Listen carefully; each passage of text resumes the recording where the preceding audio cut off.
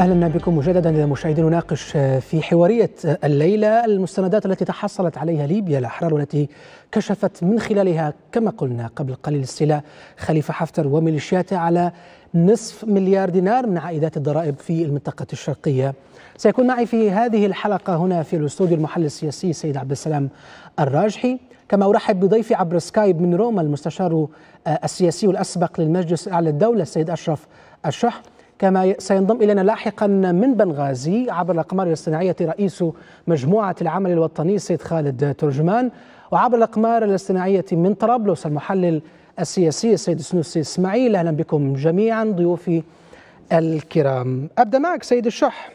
ما الذي تمثله حادثة السطو على أموال الدولة من قبل خليفة حفتر عندما نتحدث عن مصلحة الضرائب هنا؟ بسم الله الرحمن الرحيم. تحية طيبة لك نبيل وللسادة الضيوف والسادة المشاهدين. في البداية أريد الحقيقة أن أترحم على أرواح الطفلين اللذين ارتقى إلى الرفيق الأعلى هذه الليلة غيداء وفداء ومعاذ أبو راس. خمسة وسبع سنوات جراء انفجار لغم من ألغام المعتدي الغاشم. خليفة حفتر على طرابلس والتي لا زالت مزروعة في جنوب طرابلس ولا زال يعاني منها أهل طرابلس كل يوم م. هذا الحقيقة إحدى الجرائم ناهيك عن عن جريمة الجريمة المتجددة وهي جريمة السرقة وجريمة السطو وهو إثبات إضافي بأن خليفة حفتر ومن والاه هم عبارة عن عصابة هدفهم الاستيلاء على على ثروات الدولة، هدفهم الاستيلاء على الأموال مهما كان ذلك من مهما كلف ذلك من ثمن ومن أرواح. اليوم هذه هذه التفاصيل في عملية السطو على على عائدات الضرائب الحقيقة هي نقطة في بحر. هي جريمة جديدة من عدة جرائم في السابق من السطو على المصرف فرع المصرف المركزي في بنغازي من السطو على على أو أو استنزاف المصارف التجارية في المنطقة الشرقية والديون الهائلة التي يريد خليفة حفتر أن يسددها من أموال الليبيين وهي التي استعملها لقتل الليبيين. نعم. ولذلك يريد إسقاط هذه الحكومة والإتيان بحكومة أخرى لكي يغطي هذا الثقب الأسود ويحاول النجاة ويحاول الاستمرار في هوايته وهي السرقة والقتل والإجرام. سيد السنوس إسماعيل أي إشارات يمكن التقاطها من خلال هذه التسريبات التي كشفت عنها ليبيا الأحرار. نحو نصف مليار نتحدث الآن مليار دينار ليبي من عائدات الضرائب المنطقة الشرقية. وأيضا وجهت الربط بأنه دخول حفتر في في تحالف آخر أو توافق مع أطراف أخرى هو للبحث عن تمويل له جديد. تحية لكم طيبة ولكل السادة المشاهدين. أنا بس نبي نفهم الخبر هذا ما شبحته لكن ما كانش مهم في أخبار ثانية أهم منه. لكن نبي نعرف نفهم تاريخه أمتى يعني. الأموال هذه اللي نهبت في المنطقة الشرقية هل هي أثناء حكومة الوفاق ولا أثناء حكومة دبيبة نبي نعرف بس. مم. يعني هذا قبل أن اجاوبك أنا على السؤال. مانيش عارف أنا ما عنديش فكره على الموضوع يعني. هذا هذا التقرير هل في حد جاوب على السؤال؟ أنت أو الضيوف؟ أنت لا لا أنا يعني. صاحبة الخبر هي ليبيا الاحرار وصاحبة التسريب بالتالي نحن من نجيبك. هذه اولا. ثانيا نحن يعني. اسمح لي دقيقة اسمح لي دقيقة. نحن م... نحن من نحدد. نحن من نحدد. يا ولا سيد سنوسي نتكلم طيب حتى نقول لك بعدين. اسمح لي فقط. نحن من نحدد ونقدر أي من الأخبار التي يستط... يحق لنا نعطي له المساحة للنقاش والحوار مع مع الضيوف ومع غيرك. هذه واحدة. ثانيا هذه الوثائق الآن هي لدى النائب العام وهي في الوقت الحالي ربما من أسبوعين موجودة لدى النائب العام. وهناك حتى رقم إشاري وتتحدث عن منذ خلال سنة 2021 هذه ال ال ال بتحويل الإيرادات الضريبية خلال سنة 2021 إلى حسابات خليفة حفتر. وهذا نقلا أيضا عن وزير المالية. وبالتالي هو الذي أحال الخطاب والتي بلغت 499 مليون دينار ليبي. تريد تفصيل أكثر؟ لا مشكلة الوقت معنا. لا خلاص خلاص أنا يهمني الزمن. 2021 تو إحنا كليبيين نقعد تبين أنا تو كمواطن نمشي ندور خليفة حفتر باش باش نرد منها الفلوس ولا ندور الحكومة الضعيفة اللي ما قدرتش تسيطر على أموالها في الشرق لدرجة إن يجي حد يقدر ببساطة يعني يحول الفلوس لحسابه ولا مش عارف لحساب الجهة اللي يتبعها. تو من بنلوم أنا يعني. فقصدي هذه يعني الموضوع هذا. الموضوع هذا راهو ما هوش يعني آه، ضد خليفة حفتر فقط. أيضا ضد الحكومة الضعيفة التي لم تستطع أن تسيطر على أموالها لم تستطع أن تمد نفوذها في المنطقة الشرقية وتطبق القانون في المنطقة الشرقية ولا حتى الجنوبية. طبعا الجنوبية دي ما نحكي يعني الجنوبية خارج نطاق التغطية. كلها عملية عبارة عن آه، يا اما يا إما يعني فوضى هيك أمنية تلقاها أو مثلا تلقاها آه، مناطق يعني لا فيها خدمات ولا فيها أي شيء عبارة عن كانها كأنها ليست في ليبيا بالنسبة للجنوب دعك منهم. آه. لكن بالنسبة للشرق والله الشرق يا سيدي إذا كان إذا كانت هذه مشكلتكم بس إن نص مليار. هو في 50 50 مليار الكلام نتاع ديوان المحاسبة عليه 50 مليار أيام حكومة التنين. ماذا تعني نصف مليار قدام 50 مليار؟ فأنا مستغرب إن إن الموضوع هذا إذا كان مقصود فقط أنه يثار في في مثل هذا الوقت لكي يستخدم مثلا ضد طرف سياسيه معينة. هي بالعكس أين الحكومة؟ أين الحكومة؟ أنا قبل حسابك بتقول لي إن الكلام هذا أيام حكومة الوفاق مش حنستغرب طبعا. حكومة الوفاق بالفعل كانت حكومة ضعيفة ومأزومة. لم تستطع أن تقدم شيء ولم تستطع أن أن تحل الإشكالية اللي موجودة في المنطقة الشرقية. طبعا مش ما قدمت شيء معناها شيء لكن نقصد أن في المنطقة الشرقية لم تستطع أن تمد نفوذها وكان التنين موجود بكل يعني آه، آه، بكل قوة ويفعل طيب. ما يريد هو وخليفة حفتر وعقيلة وغيرها. فقصدي هذه الأموال التي تتحدثون عنها راه في منظومة مالية مش يعني من غير المعقول أن يكون هناك يجيك مثلا واحد عسكري يقول لك حول الفلوس تحولهم. ما فيش الكلام هذا راه هي العملية العملية فيها تواطؤ.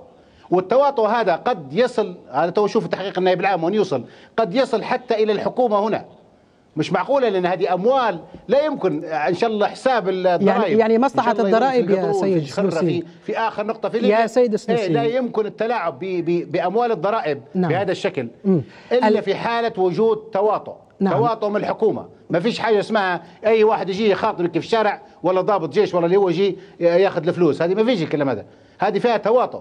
وحتشوف أنت ما دام القضية عند النائب العام حتشوف العجب في م. هذا الموضوع. حتلقى حتلقى الكثير من التو... زي القطاع المصارف في إيه، المنطقة الشرقية فكرة التواطؤ بنيتها على ماذا؟ تلقى العملية فيها تواطؤ آه، آه، بنيتها على ماذا؟ لأنه الوثيقة أو الرسالة هي في بتاريخ السادس كيف على ماذا؟ كيف على ماذا؟ على ماذا بنيت فكرة التواطؤ؟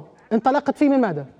هذه يا نبيل فلوس دولة هذه فلوس دولة رأي الدورة الدورة المالية المحاسبية م. يعني أنا لدرجة أني لا أدركها جيدا أعرف منها القليل يعني أن هي معقدة جدا ما فيش قرش يطلع إلا بعد يلف 60 جهة. مش بسيط الموضوع.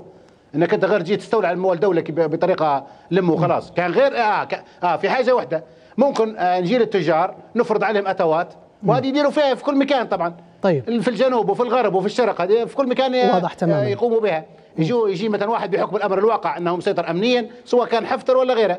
يفرض عليك انت كتاجر تدفع له آه هذا شيء ثاني ليس غريب. يعني. حساب الدولة ليس غريب الأمر. آه ليس غريب. أمر قلت لك ما يكونش إلا بالتواطؤ من الحكومة.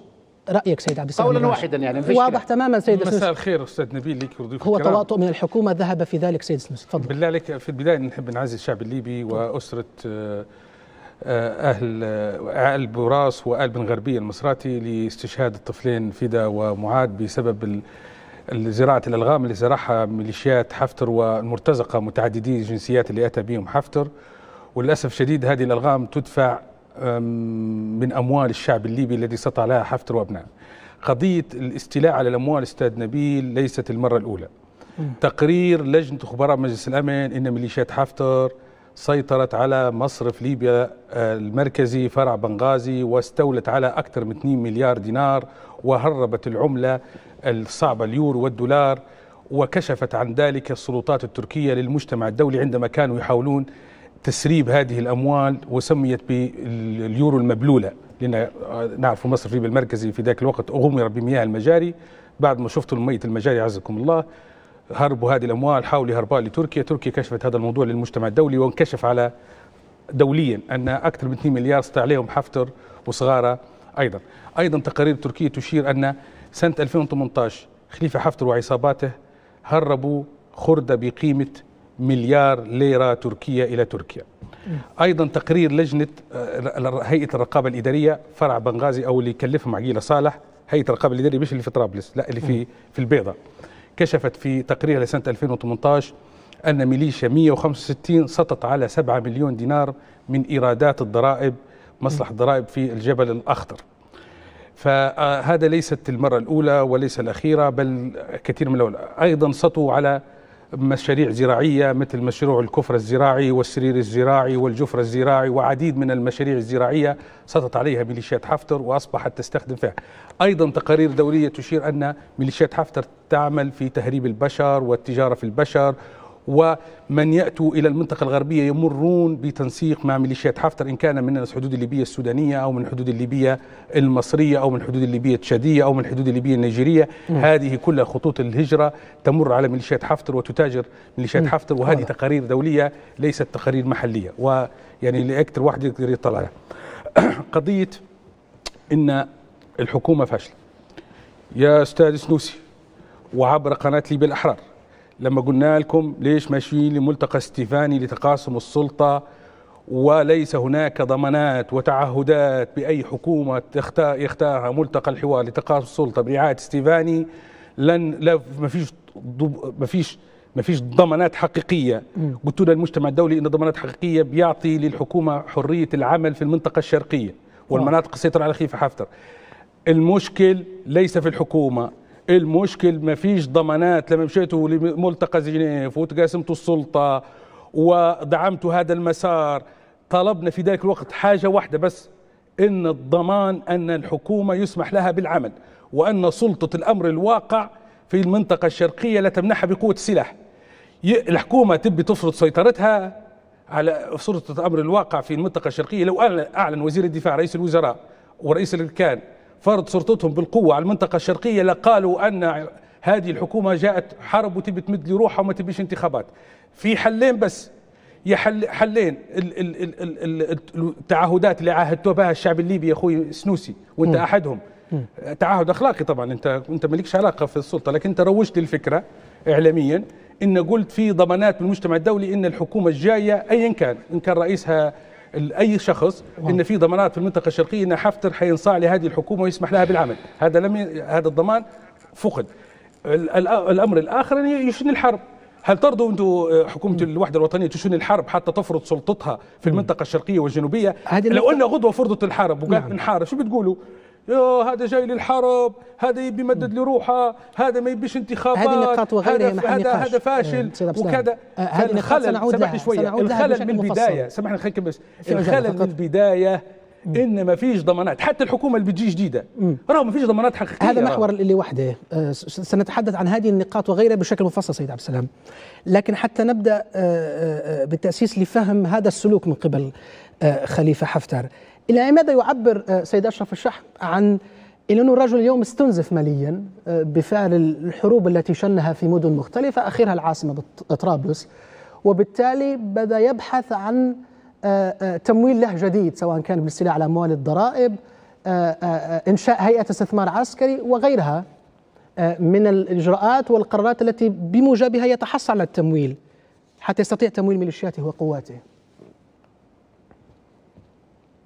هو اسمح لي بس أنا الحقيقة نستمع كنت لتعليق سنوسي والتأصيل نتاعه ومحاوله تأصيله. الحقيقة أنا مصدوم ومستغرب من من من من من تدفيه هذا الموضوع ومن الخوف على على الصفقة التي يراد بها التحالف مع حفتر وعدم التشويش على هذه الصفقة بعملية تدفيه أن والله 500 مليون شوية وما هوش موضوع المفروض نتكلموا عليه وهذا شيء ممكن يشوش على الإجراءات الحالية الحقيقة هذا هذا فيه استهانة بعقول الليبيين فيه استهانة بالمشاهد الحقيقة وأمر غير مقبول.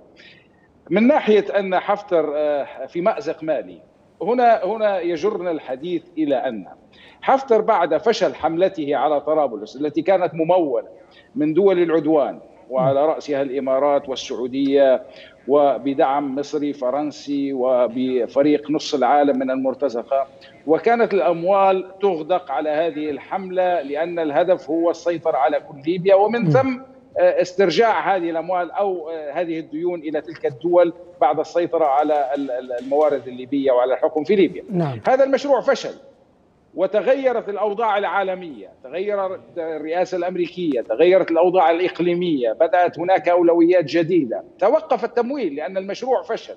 الإماراتيين اليوم لا يدفعون كما يدفعون في السابق، اليوم آه، لديهم مشاريع أخرى وأولويات أخرى، بالتالي آه، التمويل الذي يسمح لخليفة حفتر بالاستمرار في السيطرة على آه، مرتزقته وميليشياته قد ينهار في أي لحظة لأن لأن هذا هذا المال لم يعد موجودا لم يعد متوفرا. ولذلك سمعنا في عدة محطات آه، عملية الأموال أو مرتبات الجيش. مرتبات الجيش مرتبات الجيش ودون إعطاء أرقام وطنية. أي أن الحكومة يجب أن تعطي لخليفة حفتر اموالا دون أن تعلم إن كانت هذه الأموال سوف تذهب كمرتبات لأشخاص أو سيضعها خليفة حفتر في جيبه ويمول بها آه، نعم. مجموعاته هذا هذا هو الأساس اليوم وهذا هو السبب الرئيسي في حملة إسقاط الحكومة الحالية وإفشال الانتخابات. نعم. هو أن الموارد المالية التي يحتاجها خليفة حفتر للاستمرار غير متوفرة ولا تؤهله للاستمرار حتى ستة أشهر قادمة بالتالي يحاول إسقاط هذه الحكومة وإطالة الفترة الانتقالية والوصول إلى صفقات لبعض المتعطشين البيادق للسلطة وإجراء تحالف معهم بشرط تمويل. وما يؤكد هذا آه، المناصب التي حرص عليها والتي سوف تظهر الأسبوع القادم عندما يقدم بشاغه حكومته وزير المالية على سبيل المثال. وزير المالية الذي مرشح والذي هو مرشح خليفة حفتر أسامة حماد هو مستشار المالي لخليفة حفتر. نعم. ويريد وزارة المالية والتخطيط. بالتالي الهدف الهدف مالي. لن تجد في المستقبل. لا حكومة بشاغة ولا حكومة آه، أي حكومة تأتي. يمكنها أن تراجع فلسا واحدا مما يصرفه خليفة حفتر أو مما يتحصل عليه خليفة حفتر. بالتالي القول والله أننا وصلنا إلى توافق وهذه مرحلة يجب أن تسمح للتوافق نعم. والصلح والمصالحة. والمجرم الذي ارتكب كل هذه الجرائم وسوف يرتكب جرائم أخرى وسوف ينقلب على كل الاتفاقات م. وسوف يحاول الكرة والكرة طيب. الوصول إلى السلطة بأي طريقة م. هو نفس الشخص ولم يقدم أي دليل سنأتي إليها سيد أشرف آه سنأتي إلى هذه النقاط حول استمرارية هذا السلوك من قبل حفتر تتوقع ربما في أي تحالفات قادمة آه، لكن دعني أرحب وإياك بضيفي عبر الأقمار الاصطناعية من بنغازي رئيس مجموعة العمل الوطني السيد خالد ترجمان. أهلا بك معنا سيد خالد. هل من تفسير لديك آه، على استيلاء حفتر نتحدث الآن وقواته على نحو نصف مليار دينار آه، من عائدات ضرائب المنطقة الشرقية؟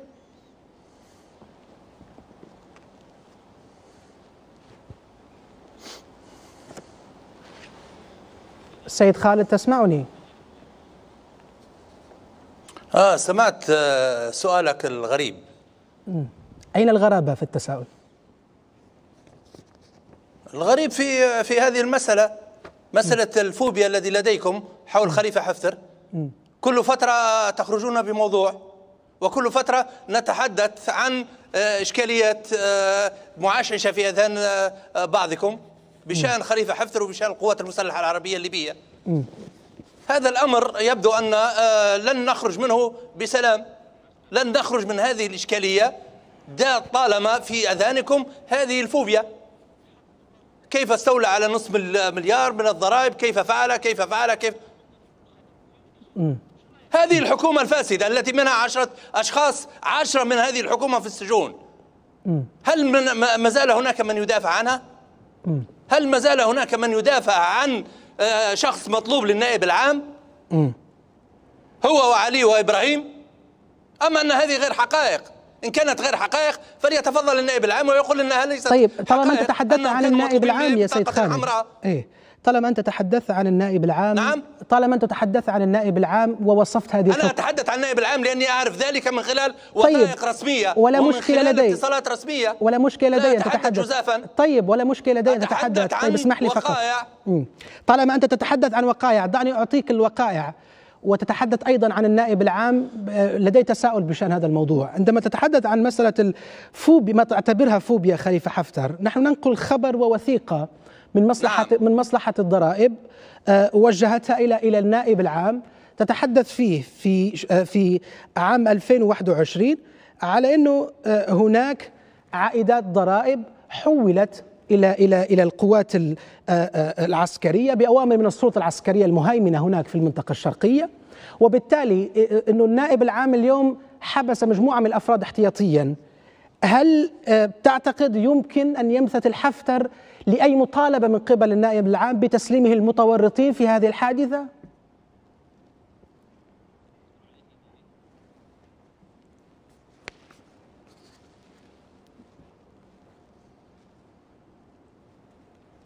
عن أي مصلحة الضرائب تتحدث؟ هل تتحدث عن مصلحة الضرائب في المنطقة الشرقية؟ مصلحة الضرائب مصلحة الضرائب في الحكومة وهي موجودة في طرابلس ونتحدث عن مناطق أتحدث عن مصلحة ضرائب موجودة في أنت تتحدث عن طرابلس. تتحدث عن طرابلس. طرابلس تلك قصة أخرى. لا أتحدث عن ليبيا لا. هذه الضرائب موجودة في مغازي. لا أعتقد أنه استولى عليها وهي في طرابلس. لا أعتقد أن تم الاستيلاء عليها في طرابلس. وبالتالي لكن لماذا مصلحة الضرائب في بني غازي لم تتع... لم تتعامل مع هذه المسألة؟ ولديهم محامي عام. يا سيدي وبأي حق القوات المسلحة آه يا سيدنا نقول لك إنه المصلحة بفرعها الرئيسي. القوات المسلحة تستولي على هذا المبلغ من مصلحة الضرائب. وبفرعها الرئيسي. ولا تتحدث مصلحة الضرائب مع عدم مع المحامي العام المتواجد في شرق البلاد. مم. لماذا تتحدث مصلحة الضرائب في غرب البلاد؟ وأنت تعلم أننا منقسمون إلى فريقين منقسمون إلى جهتين أين أين هو الانقسام؟ أين هو الانقسام؟ إذا كان هناك إذا كان هناك وزراء من برقه اليوم ما زالوا يمارسوا في أعمالهم تبعا للحكومة. النائب رئيس. هذا من وزراء لبطونهم. هل تعتقد أن هؤلاء وزراء يمثلون بالفعل من اتى بهم في آه، في شرق البلاد؟ من اتى بهم لبطونهم. من اتى بهم عندما نتحدث عن وزراء. آه، نواب يريدون بطونهم. لا يريدون وطن. لابد أن تفصل. إن لم يا سيدة ترجمان طالما تريد أن تنقل الحقيقة لدينا وزراء اليوم آه، في حكومة الوحدة الوطنية. جيء بهم على أنهم ممثلين عن المنطقة الشرقية كما يحلو البعض تسميتها برقة. نائب رئيس الحكومة السيد حسين القطراني هو جيء به لهذا المنصب كممثل عن المنطقة الشرقية. هؤلاء كلهم إن لم يمثلوا المنطقة الشرقية يمثلون من؟ وأيضا حتى وكيل وزارة الداخلية فرج قعيم موجود. مجلس النواب يمثلون هل تعتقد أن من يأتي بهم مجلس النواب يمثلون حقيقة برق يمثلون حقيقة المنطقة الشرقية أو بنغازي أو برقة هؤلاء لا يمثلون بدليل الموقف الذي اتخذه السيد نائب رئيس الوزراء انتهى إلى لا شيء انتهى الآن لماذا؟ هل كل ما فعله والمؤتمرات الصحفية التي خرج فيها وهجومه على دبيبة وعدم تزويده بالمال هل هذا انتهى في لحظة واحدة وذهب عاد إلى طرابلس يمارس مهامه؟ هؤلاء من أتى بهم؟ هل أتى بهم شعب؟ هل أتى بهم أهالي آه، المنطقة الشرقية؟ هل أتوا عبر انتخابات؟ أتوا عبر محاصصات مقيتة عبر الاستيلاء على السلطة؟ والآن التمهيد لي أما بقاء آه، دبيبة كآلة للنهب ولإيجاد مبررات. لجعلنا في مأزق مالي طوال تاريخنا القادم. ربما سنكون مدانين أو سنكون سيكون البنك الدولي فوق رقابنا بعد وقت قصير. من هذه التصرفات التي تدفع بعشرة من نعم من وزارته داخل السجون ولديه اتهامات لا تحصى ولا تعد منذ مجيئه إلى هذه الحكومة. ثم تتحدث عن آه، مصلحة الضرائب في طرابلس. مصلحة الضرائب في طرابلس لماذا لا آه، تجعل مصلحة الضرائب في مغازي هي التي تتولى هذا الأمر؟ يا سيد خالد إن كنت لا تعترف يا سيد خالد إن كنت لا تعترف لا تعترف إن كنت لا تعترف بأنه بمسألة من جاء بهؤلاء الوزراء وحتى النائب للحكومة هم جيء بهم من البرلمان ولا تعترف بهم؟ بداية بداية التوصيف وبداية المنطلق حفتر أيضا ما سميتموه قائد عام للجيش جيء به عن طريق مجلس النواب وهو ذات المجلس الذي تعتقد أنه عين بإرادة شعبية عندما ذهبنا إليه أصحح لك معلوماتك أصحح والتكليف لك معلوماتك من أين التكليف؟ هذا آه آه هذه المسألة وهي مسألة آه آه إعطائه الرتبة وتعيينه قائدا عاما من مجلس النواب كانت بإرادة الشعب عندما خرجنا تماما. إليه وخرج ليقاتل معنا الدواعش والميليشيات في بني غازي كان بإرادتنا نعم واضح تماما بإرادة الليبيين مم. وإرادة المنطقة الشرقية مم. ليس بإرادة مجلس النواب نعم. مجلس النواب اضطر اضطرار مم. لقبول ذلك اضطر اضطرار لتعيينه نعم مم. طيب واضح تماما بالنسبة لنا مم. ليس ليس ذو جدوى وبالتالي هذا الرجل جاء ليقاتل الإرهاب ليقاتل الميليشيات. أولئك الذين اعتقدوا أنهم هم أصحاب فبراير. آه. يوم 15 و16 و17 فبراير. أين كانوا هؤلاء؟ لغاية يوم 20 عندما انتصرت مدينة بني غازي وطردت جحاف القذافي من بنغازي أين هؤلاء الذين الآن يتحدثون ويتشدقون بفبراير ومبادئ فبراير وثورة فبراير؟ مم. أين هم بالتصدي ل وأنت تتحدث وأنت تتحدث وأنت تتحدث يا سيد يا سيد خالد. يا سيد خالد أنت تدفعنا بحديثك هذا إلى العودة للوراء قليلا. آه، عن سلوك ما تعتبره أنا بذلك طيب يا سيد خالد اسمح لي فقط. ليس من ليس من حقك أن تقاطعني. اسمح لي فقط. حول أنا صعب. وحول آه آه. هذا ما هذا ما تتمناه أنت. اسمح لي. هذا ما تتمناه أنت يا سيد هذا الحديث سيجرنا لإعادة الفوبيا التي التي آه, آه، تعيشونها آه. في هذا في هذا الأمر. يا سيد خالد. كنت اعتذرت عن الاشتراك في الحديث في هذا الحديث. يا سيد خالد ترجمان. الحديث لو سمحت. دبيبه وعن بشاغة وعن المشروع القادم طيب في ليبيا. سنتحدث عن المشروع القادم. عن آه. ما تراه أنت أنه آه. سرقات وان النائب آه. العام وإن هو هذا ليس رأيي يا سيد خالد. اسمح لي فقط. عن سيد خالد لو سمحت حتى نضبط فقط الحوار أكثر والنقاش. آه هو هذا ما أقدمه المعلومات هو ليس رأي مني. بل من مصلحة الضرائب موجودة في طرابلس وقدمت وثائقها للنائب العام. هذه أولا. ثانيا ما تعتبره جيش جاء لمحاربة الإرهاب والميليشيات في طرابلس. قبل قبل أن نخرج لهذه الحلقة سيد خالد الترجمان هناك حادثة وقعت في في في في في طرابلس. واقعة مقتل آه، طفلتين آه، بل طفلان في في منطقة آه، عين زارة. نتيجة لغم زرعته ميليشيات حفتر. أثناء محاولتها اجتياح طرابلس قتلت في دم بارد. العائلة مم. التي قتلت بدم بارد.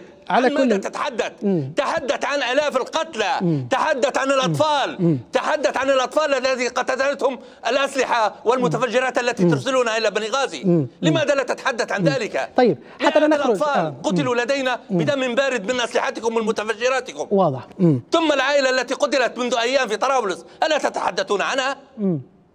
مم. أنكم تصطادون في الماء العكر بهذا الشكل. آه واضح. لن تذهبوا لبناء دولة. مم. مم. لن تذهبوا لبناء دولة بهذا الشكل. واضح تماما سيد خالد ترجمان أطلت على بقية من الاحتراب. آه مزيدا من الاحتراب. هذا واضح لديك.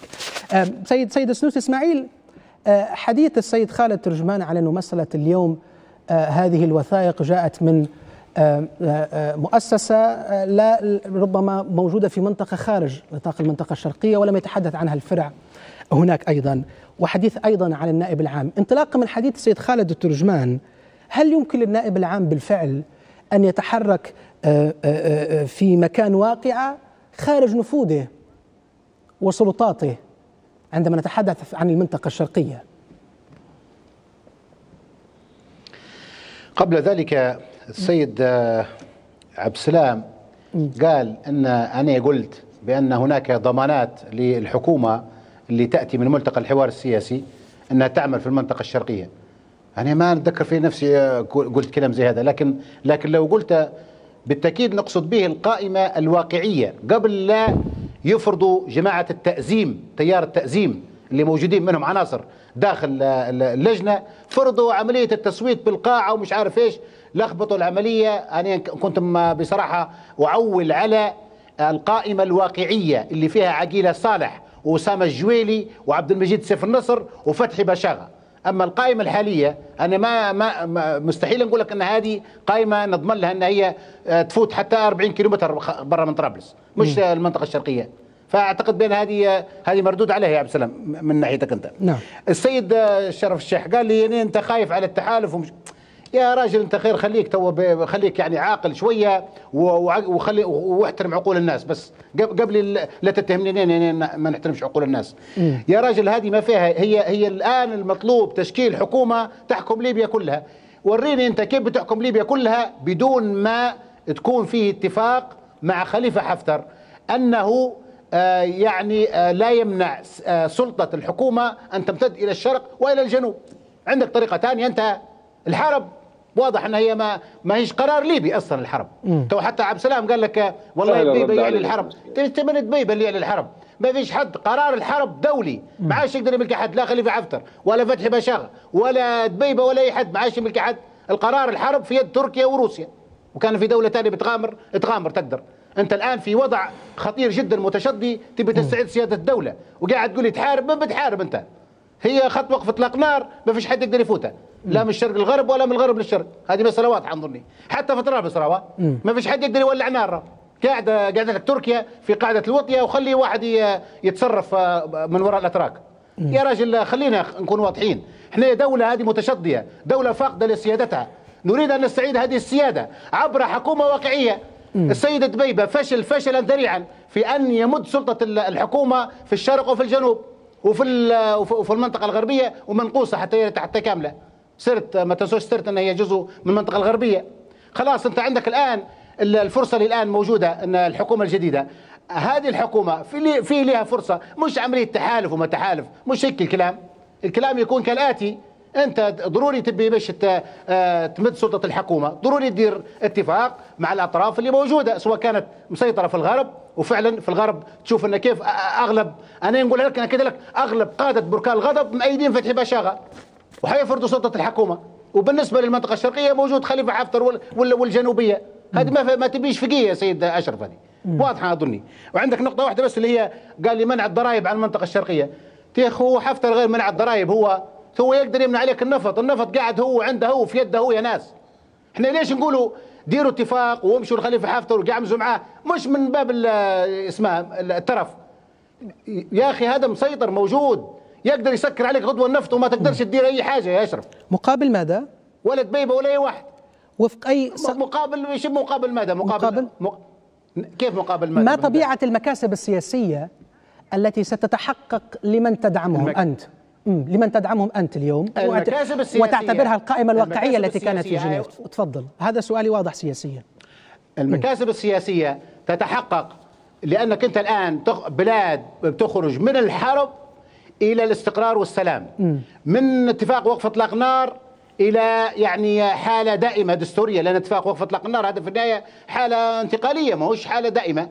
فهذا الأمر يريد يعني يحتاج أقصد حكومة واقعية. حكومة واقعية نقول لك. لما بشاغه واثق في نفسه بكل شجاعة مش اللي بنغازي نعم. واثق في نفسه من اللي يقدر يخونه ولا يقدر يزايد عليه؟ فتحي بشاغه نعم. يعني شنو ماشي بيبيع بيبيع الدنيا لحفتر ولا العكس؟ ولا حفتر بيسلم للقوات اللي عنده بيقول هاك تفضل يا يا, يا فتحي. هي مشكل عملية يا راهو. أنت الآن في وضع دولة ما فاقدة سيادتها يا ناس وفيها القوات الأجنبية وفيها اللي ما يسوى واللي ما يسواش موجود في ليبيا ويلعب فيها زي ما يبي. تمام؟ فأنت الآن الحكومة هذه عبر هذه التوافقات بين قوى الأمر الواقع اللي موجودة في الغرب وفي الشرق وفي الجنوب. واضح تماما. حتى في الغرب الوضع الوضع عندنا ماهوش مثالي. مش نقولوا إحنا والله واضح تماما أفضل منهم حالا والله والله هم أفضل منا حالا إخواننا في الشرق. ما فيش حد أفضل من حد. واضح. كلها نفس المضروبة بعصا واحدة. وكلها يعني أنت الآن كيف تبني ليبيا بدون بدون ما مسيطر على منابع النفط بدون ما مسيطر على الحدود بدون ما يعني آه، ترضي الجميع. شرق وغرب وجنوب. هذه ليبيا هيك واقعها. شرق واضح. وغرب وجنوب. هذه واضح تماما. ليبيا. كانت آه، برقة وفزان وطرابلس واصبحت دولة واحدة. امم واضح تماما آه، سيد سيد آه، ما ندري عنا الدستور شو بيكون هو. نعم. لم أسمع. لا الدستور ما ندروش عنه شو بيكون. فيدرالي كونفدرالي ما ما تعرفش بيكون الدستور الجاي. واضح تماما أما مستحيل يكون بالوضعية الحالية. ان هو دولة كي ليبيا آه، بلديات ومش عارف ما فيش الكلام هذا. يا طيب. يا بتكون ولايات يا بتكون مو نظام فيدرالي حيكون. ولا واضح تماما. كونفدرالي زي آه. سويسرا. واضح اللي فيها تماما. اللي فيها مجلس رئاسي من سبع رؤساء. طيب واضح هذه ليبيا لأنك هذا واقع بتاعك يا أشرف. واضح تماما. يعني؟ أنا اذهب فقط إلى السيد عبد السلام الراجحي في كثير من النقاط التي اثارها السيد سنوس إسماعيل عندما تحدث عن مسألة من وصفهم بقادة بركان الغضب اليوم مؤمنين بفكرة الذهاب في هذه آه هذا التوافق أو التحالف سميه ما شئت وهم مع آه السيد فتحي بشاغه رئيس الحكومة المكلف. وانطلاقا مما ذهب إليه حول الواقعية السياسية التي فرضت هذه الحالة وهذا النموذج الجديد. اذا هذه التسريبات تعتقد أنها تؤثر على هذا التحالف القائم أو التوافق القائم بين حفتر وما آه، الحكومة الجديدة برئاسة فتحي بشاغة. آه، اسمح لي فقط قبل ما نجاوبك على السؤال أستاذ نبيل فضل. في بعض الملاحظات على ما قاله الأستاذ خالد ترجمان بمغازي.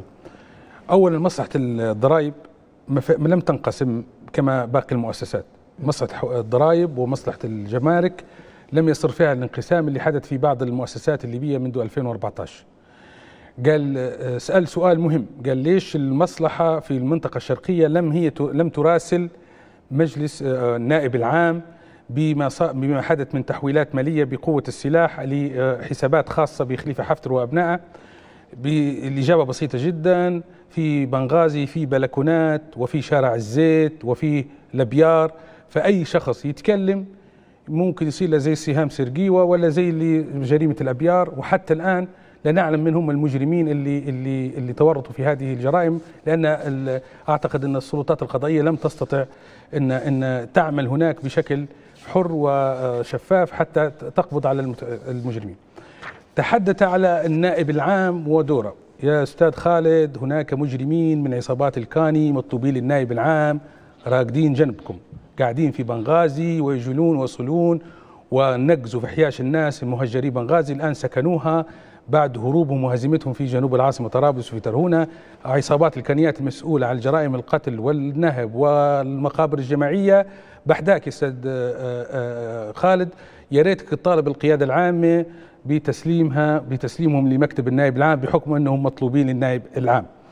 الأمر الآخر والمهم عندما تحدث على جيوش القذافي التي هاجمت بنغازي بعد الثورة أنا نحب نقول له إن من أهم قياداتها مثل مبروك سحبان والقاسم لبعج وغيرها وفلول 32 معزز هي الآن تقاتل وتعمل تحت لواء القيادة العامة وحفتر وأبنائه فقصدي قضية الفبراير وأن من هجموا على بنغازي في في مارس 2011 هم الآن يقاتلون معكم في نفس الخندق.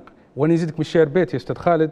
وأنت كنت مناضل وكنت سجين سياسي إن رفيقيك اللي أعدموا رفيقيك آه، آه، آه، محمد بن سعود وعمور دبوب الآن هو طيب الصافي ومصطفى الزايدي الآن يصلون ويجلون في بنغازي ويعقدون المؤتمرات الصحفية والبرامج الانتخابية بل بالعكس أنت وياهم في خندق واحد أنت الآن شريك لمن كانوا يقتلون ويشنقون أبنائك ورفقائكم في النضال ضد المجرم معمر القذافي الآن مصطفى الزايدي بحداك وطيب الصافي جنبك ويجتمعوا وممكن حتى تشارك فيهم في بعض المؤتمرات. إذا كانت تتكلمنا على ثوره فبراير فأنتم من قتل وهاجم بنغازي وشنق خيرة شباب بنغازي في 77 و 76 ورفقائك يا أستاذ خالد رفيقك رحمه الله الشهيد عمور دبوب والشهيد محمد بن سعود هم الذين اغتالهم وشنقهم.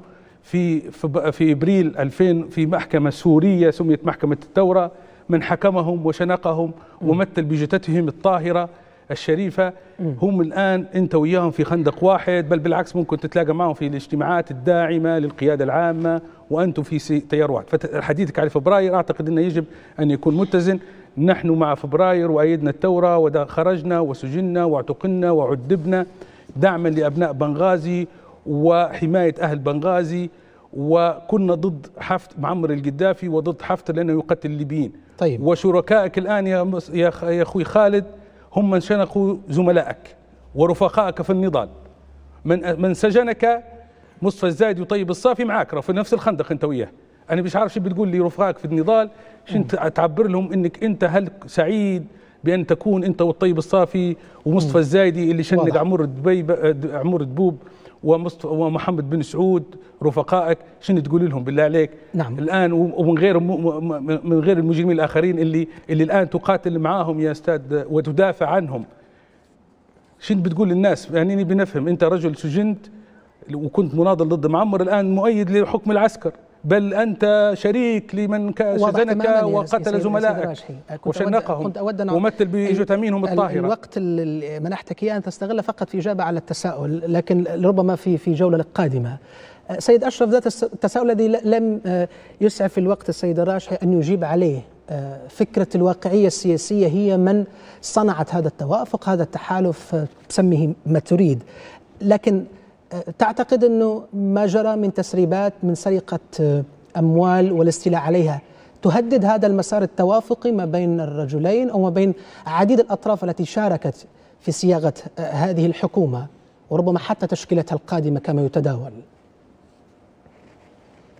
لا لا لن لن يتوقفوا عند هذه النقطة. هم يهربون إلى الأمام ومقابل الوصول إلى الحكم السوري بأي ثمن مستعدين أن يتجاوزوا عن الدماء مش عن الأموال. هم هم تجاوزوا عن الدماء وعن القتلى وعن المهجرين وعن الخسائر ما بالك عن الأموال. بالتالي آه، فتحي بشاغة خلاص قطع الطريق آه، مع الماضي ويهرول جاهدا كي يكون جندي لدى حفتر وليس العكس. ال ال ال الكلام الحقيقة اللي قاله الترجمان آه، جميل ان يحاول ان أن يستعمل طريقة الهجوم أحسن وسيلة للدفاع ويقول فوبيا حفتر من فوبيا حفتر حفتر له جاء لطرابلس المنطقة الغربية مدجج بأسلحة وبتمويل خمس دول وبمرتزقة من نصف العالم ورجع مهزوما مضروبا على قفاه زي ما يقولوا المصريين. بالتالي ما فيش فوبيا من حفتر. حفتر مهزوم حفتر لا يمثل شيئا. حفتر اليوم يحاول الحصول على الأموال لأنه من غير مال سوف يموت سوف ينتهي مهما كثر طباليه مهما كثر آه، آه، حواريه. بالتالي محاولة ربط قبول حفتر بالحفاظ على الوطن والوطنية وهذه اسطوانة مشروخة لم يعد يقبلها حتى الأطفال. بالتالي أرجو أن نتجاوز عنها ومحاولة التزويق والتطبيل هذه ما انتهى انتهى زمانها ولم يعد يقبلها أحد. أما بالنسبة لدفاع السنوسي المستميت على بشاغة حتى وأنه الحقيقة غير مقنع حتى هو حتى للأطفال لأنه يحاول التأصيل والتأسيس متناسيا أن أي اتفاق أو أي مصالحة يجب أن تنطلق من مبادئ وطنية وهي الاختصاص وإرجاع الحقوق إلى أهلها. واعتراف اعتراف الجاني بجرائمه ومحاسبته عليها. أما القول والله الحكومة الحالية آه، لا تستطيع أن تحكم في شرق البلاد وفتحي بشاغة بعد ما مشي تنازل لحفتر مقابل أن يضعه رئيس وزراء. قالها بلسانه قال حفتر حطني رئيس وزراء. مش العكس هذا هذا بلسانه في كلمته قبل يومين. بالتالي حفتر هو اللي حطه وحفتر مش هيعطيه يحكم الشرق والجنوب زي ما تقول. لا بالعكس. حيكون بشاغة حصان طروادة اللي خششها لطرابلس الذي لم يستطيع دخولها بقوة السلاح بالإرهاب بالقتل بالتدمير. اليوم هذا الكوبري تقول لي قادة بركان الغضب أنا اتحداك تسمي لي حتى زوز. والله العظيم خليفة حفتر لن يدخل طرابلس. سواء على ظهر باشاغا أو على ظهر أو على ظهر سعودك سيد سنوسي. آه سمي لك زوز إيه. سيد سنوسي سعود لك. سعود لك. خليك ساكت يا سنوسي خليك ساكت نقدر نسكتك. لو لو سمحت يا سيد سنوسي لو سمحت. أنت قلت انت أنت قلت سمي لي زوز. يا سيد سنوسي لو سمحت عندما يحين دورك سأعطيك المساحة لتجيب على تساؤلات أشرف سيد أشرف. تفضل سمي لي. زوز عندما يحين دورك يا سيد سنوسي. أسامة جويلي ومحمد الحصان. تعال زايد عليهم أنت هاي. تعال زيد عليهم يا عزيز أسامة سيد سنوسي واضحة تمام. يا سيد سنوسي. محمد سعود زيد عليهم انت الحصان وما زال يسمي لك. قادة طرابلس. قادة طرابلس بالكامل. سيد سنوسي سيد سنوسي سيد سنوسي. لو سمحت لو سمحت سيد أشرف. سيد أشرف لو سمحتما. لو سمحتما قليلا. لو سمحتما قليلا لو سمحتما قليلا أرجو منكم أن تتفضلا فقط. سيد السنوسي رجاء نقطة نظام. سأعود لك وأعطيك الكلمة عندما يحين دورك. رجاء لا تقاطع أي ضيف. إن كانت لديك أي ملاحظات أو تعقيب على كلام أحد الضيوف دونها لو تكرمت. عندما يحين دورك ترد عليها ولك الوقت الكافي. أعود مرة أخرى إلى السيد أشرف الشح ليكمل فكرته وما بدأ حديثه. تفضل بالنسبة أما بالنسبة للحكومة التي فيها عشر وزراء في الحبس زي ما قال خالد الترجمان أنا أتحداه يقول أسماء العشر وزراء. يبدأ يسمي العشر وزراء اللي في الحبس. نعم. على سبيل المثال إزناتي وهو مرشح القيادة العامة للجيش العربي الليبي المهزوم فهمتني؟ ووزير التعليم وهو مرشحهم كذلك. بالتالي من يمتهن السرقة لا يختار إلا السراق إلا المجرمين. هذه الحكومة التي فرضت على عبد الحميد الدبيبة في شهر مارس الماضي وكانت تسمياتها من قبل خليفة حفتر وعقيلة وأعضاء النواب المبتزين هؤلاء هم هم الصنيعات المجرم الذي سرق الأموال منذ 2014 منذ على مصرف المركزي في بنغازي. والآن آخرها السطو على أموال الضرائب. عم تقول لي والله علاش الضرائب. في المنطقة الشرقيه آه نكتفي بالكلام اللي قالوا لك عبد السلام لأن في المنطقة الشرقيه في بلكونات وفيها وفيه شرع الزيت هذا علاش ما فيش راجل يقدر يتكلم؟ في في المنطقة الشرقية لا تجد إلا الطبالين للأسف ولكن الغالبية في المنطقة الشرقية لا غير راضين ولكنهم مغلوبين على أمرهم وإن حانت الفرصة وكانت هناك انتخابات سوف يعرفوا وزنهم الحقيقي هؤلاء المسلمين. واضح. سيد خالد ترجمان هذا التوافق أو القبول سميه كما تريد من قبل آه، خليفة حفتر وما تعتبره قيادة جيش وطني آه، آه، هل هو يبدو لك مختلفا عما سبقه من توافقات حصلت بشكل أو بآخر مع حكومة دبيبة؟ هل اليوم النموذج نموذج فتحي باشاغا مختلف كثيرا وبالتالي هذا النموذج سيستمر حتى يصل بالليبيين إلى الانتخابات رغم آه، فشل الدبيبة كما يقول خصومه وهم من يؤيدون آه، هذه الحكومة حكومة فتحي بشاغ المكلفة من النواب لا أدري هل سأجيبك على تساؤلك أم أرد على ضيوفك. أحدهما الذي يتحدث عن أنني آآ آآ يعني أناصر من أعدم المرحومين الشهيدين محمد الطيب بن سعود وعلي وعمر علي دبوب. أزيدك من شعر بيت. أولا من تحدثت عنهم الطيب الصافي والزايدي لم يكن لهم وجود أساسا. ربما الوحيد الذي كان له وجود هو أحمد إبراهيم وعبد السلام الزادبة المسؤولين عن هذا القتل حسن نشكال وعبد الله السنوسي المتواجد لديكم هناك ومنصور ضوء هؤلاء هم المسؤولين على هذه الإعدامات. أما هؤلاء فلم يكونوا شيئا أساسا. في أحداثنا في 75 و 76 أثناء رئاسة اتحاد طلبة كلية الحقوق لم يكن لهم وجود. من تتحدث عنهم؟ ولكني أزيدك من شعر بيت كما يقال. الزايدي مسؤول على تصفية 7 أبريل. مسؤول على رفيقين آخرين لم تذكرهما ولا تعرف عنهما شيء. وهما الشهيدين أحمد مخلوف ونجيب حوية الذين مات تحت التعذيب بمسؤولية شخص مثل الزايدي الذي تتحدث أنني في خندق واحد معه. هل يعقل ما تقوله؟ هل يعقل أن هؤلاء يكونون آه، آه، معي في آه، في نفس الخندق لبناء دولة؟ هذه من ناحية. من ناحية أخرى من كان يقود رتل العز كما يسميه القذافي الرتل الذي جاء لتحطيم بني غازي. لم يكن عسكريا كان مدنيا. ولعلكم تعرفونه. على كل حال ليس هذا هو ما أذهب إليه.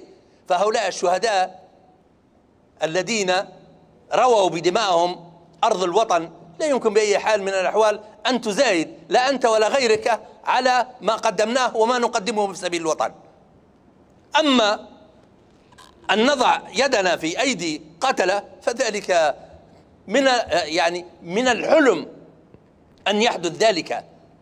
وبالتالي هناك الكثير من آه، رفاقنا في أبريل والذين دفعوا حياتهم ثمنا لمواقفهم. يكفي أنني قضيت من عمري 16 سنة داخل سجون القذافي. عذبت أنا وأهلي وأسرتي في آه، آه، الحرس الجمهوري. ويعلمون تماما ما الذي حدث في مواجهتنا للقذافي طيلة هذه السنوات. فهل يعقل أن من سكب دماء شهدائنا أن نضع أيدينا في أيديهم؟ هناك قضايا مرفوعة من هؤلاء الشباب. شباب يناير 76 ضد كل من ذكرتهم وأكثر بكثير ممن يجدون الفرصة للدخول للمنطقة الشرقية احتفاء بقرار مجلس النواب الذي لا معنى له وهو آه، مسألة العفو العام والذي صدر كذلك على عبد الله السنوسي وسيف الإسلام. هذا القرار لا معنى له أساسا لا قانونا ولا واقعية. ثم السيد آه، آه، صديق الصور تحدث عنه يأتي إلى طبرق أكثر من مرة في جلسات للمجلس الأعلى للقضاء. وبالتالي على تواصل شبه يومي مع المحامي العام في بني غازي. وبالتالي الحديث الغير الغير منطقي سيظل غير منطقي وسيظل غير حقيقي لمحاولة أن الآن نتصالح مع من؟ من ليس عليه دم أو سرقة مال عام كائنا من يكن هذه بلادي ومن حقه أن يأتي إليها في أي وقت شاء ولكن من قتل من سفك الدماء من سرق مال الليبيين لابد أن يمتل بالعدل والقانون أمام المحاكم كائنا من كان في آه، سبتمبر أو في فبراير أو في الكرامة. لابد أن يمتل السراق والنهاب والقتلة أينما كانوا. ثم الحديث عن الكنيات وهو من قدم من ترهونة يبدو أنك لا تعلم الكثير. من من هو مطلوب هو في السجن الآن. أما غير ذلك فهو آمن. لأن بني غازي آمنة. سمي لي أسماء المقبوضة بني غازي أرض الثورة. بني غازي عاصمة الثورة. طوال التاريخ. وستظل تجود بأبنائها من أجل الوطن. وجادت بالآلاف لإخراج المرتد... لإخراج آه، الميليشيات المسلحة وإخراج الدواعش وإخراج كل التنظيمات المتطرفة التي كانت تعيد في آه، بنغازي فسادا. وتمول من من؟ اسأل آه، مجلس المؤتمر الوطني العام وما صرح به رئيس المؤتمر الوطني العام السابق. عندما قال كنا ندعمهم بكل أنواع الأسلحة. نحن وسمى ما شاء من من بوسدرة إلى غيره من المتطرفين. كانوا يدعمون بالجرافات أولئك القتلة في بني غازي الذين قتلوا أكثر من 1200 من الشهداء مدنيين وعسكريين. طيب هذا الذي جعلنا نقف ضدهم وهذا الذي جعلنا نطلب من اللواء ركن خليفة حفتر أن يتصدى لهؤلاء. وقدمنا أبنائنا وأخوتنا وأقاربنا شهداء على درب طيب أخذت وقتك الكافي ولم تجب يا سيد خالد. لبناء دولة مدنية أو للذهاب لبناء دولة مدنية لا نقبل. لا نقبل على الإطلاق. بوصفنا بأي شيء إلا أننا خرجنا يوما ما على القذافي ونحن طلاب في جامعة بني غازي. شباب يا سيد خالد يا سيد خالد تسمعني؟ نطالب بدولة مدنية. تسمعني؟ طالما طالما أنت تطمح آه، آه، آه، للذهاب إلى إلى دولة مدنية وهي كانت أحد الأسباب التي دفعتك للخروج في يوم ما على نظام القذافي وسجنت في حينها النموذج الذي يقدمه حفتر تعتقد أنه نموذج حقيقي يقودنا لدولة مدنية؟ أم يقودنا لنموذج عسكري آخر بذات السلوكيات التي كان يمارسها القذافي؟ وضرب لك مثالا السيد عبد السلام الراجحي بالجثث الملقاة ولا غير ذلك. هذا من جانب. من جانب آخر آه، مسألة التحالف أو التوافق القائم مع مع فتحي بشاغة والقبول آه، آه، بهذه الحكومة. تعتقد أن هذا الأمر مختلف عن قبول حفتر بالدبيبة فيما مضى؟ في أقل من دقيقة سيد. خالد إني أطلت على بقية أنا الضيوف. أعتقد أن أولا هناك خلط هناك خلط آه، لديك. حفتر لم يقدم نموذج لدولة مدنية. حفتر التزم بمهامه كقائد عام للقوات المسلحة لتأمين الوطن وترك الليبيين للذهاب لبناء دولتهم كما يرون وكما يشاءون. بدليل أن الثني آه، آه، أصبح وزيرا رئيسا للوزراء في المنطقة الشرقية وحدث انقلاب طرابلس انقلاب آه، مطار طرابلس والحرب التي شنت في طرابلس حتى يتم خلط الأوراق وانتهى ذلك بمعاضدة الإسلامويون في كل أنحاء الدنيا مع آه، البعثة الأممية لتنتج لنا صخيرات وتنتج لنا سراج وقضينا كل هذه السنوات ونحن في كر وفر. طيب. من يحمي آه، النفط في ليبيا؟ من يحمي آه، إيراداتكم الليبيين التي تذهب ليبعثرها دبيبة شمالا ويمينا؟ هذا الرجل الذي يحاول خلط الأوراق وخلق الفتنة في الشرق والغرب. ما الذي يملكه كي يبقى على رؤوس الليبيين كل هذه الفترة؟ من أتى به دبيبة من أتى بالسراج؟ والآن هل تعتقد أننا أو على الأقل بالنسبة لي وللمناظرين في شرق البلاد قابلين بما يفعله مجلس النواب بالتمديد لنفسي 14 شهرا آخر للذهاب لانتخابات أو سنقبل دبيبة وأعماله آه،. يعني أعمال الغير آه، الغير ناضجة من إنسان غير ناضج غير قادر ان يستوعب ما الذي يحدث في واضح العالم تماما وما الذي يحدث في ليبيا. واضح تماما عندما سيد خالد. عندما يضع خطة للذهاب خلال أربعة أشهر لانتخابات آه برلمانية. من أين جاءتك هذه هذا الإلهام؟ لماذا لم تفعله منذ ثمانية أشهر؟ آه طيب واضح تماما تفضل سيد, سيد, سيد تفضل. آه هو ليس عبد السلام عبد السلام ضيفي. على كل آه سأعود لك مرة أخرى سيد خالد آه سيد على كل. تفضل. آه سيد سيد سنوسي إسماعيل سيد سنوسي إسماعيل.